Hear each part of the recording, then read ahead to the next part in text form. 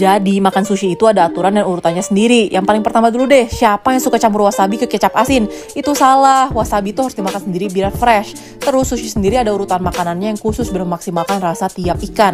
Paling pertama pokoknya yang mentah-mentah, sashimi atau nigiri. Nah mulai dari ikan berdaging putih, perak, baru yang berlemak kayak tuna, terus terakhir salmon. Soalnya itu dari yang paling ringan ke yang paling fatty atau berlemak. Terus kalau kalian makan tipe sushi yang toppingnya di atas dan nasinya di bawah, yang kalian celup ke kecap itu toppingnya, bukan nasinya. Biar nggak keasinan. Jadi bagian atas yang dicelup. Kalau udah kelar makan ikan bisa ditutup pakai telur. Jadi tambah koyaki gitu ya Nah, kalau yang mentah udah kelar, kita lanjut ke maki, yaitu roll yang simple. Di resto sushi, kalau kalian pesan maki, artinya kalian udah selesai makan sushi. Jadi ini kayak semacam penutup gitu. Baru terakhir kita makan roll yang bentuknya aneh-aneh. Oh ya, tips aja nih, kalau kalian ke sushi teh, kalian pesan tanuki. Nanti dikasih kriuk-kriuk tempura, gratis kok. Terus kalian cocol deh bagian mayunya di tanuki. Itu ter sih, parah. Kalian juga bisa pesan saus mentai, tapi setahu gue di beberapa sushi teh ada yang gratis, tapi ada yang bayar juga. Nah, kenapa yang gini yang paling terakhir? Soalnya ini tuh bukan dari Jepang, tapi dari Amerika. Toppingnya tuh macem-macem lah, pakai ayam, mayo dan lain-lain. Makanya paling terakhir.